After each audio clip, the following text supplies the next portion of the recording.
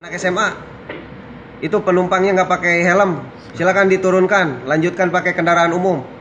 Ayo helm putih, Honda Beat putih, ya. Kamu terpantau dari kontrol room melakukan pelanggaran dengan membawa penumpang tidak memakai helm. Silakan diturunkan. Ayo turun. Yang pakai jaket hitam, drivernya. Ayo turunkan temannya atau putar balik.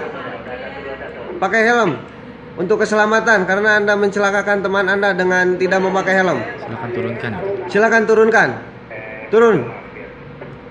Untuk keselamatan. Naik kendaraan umum saja kalau tidak ada helm.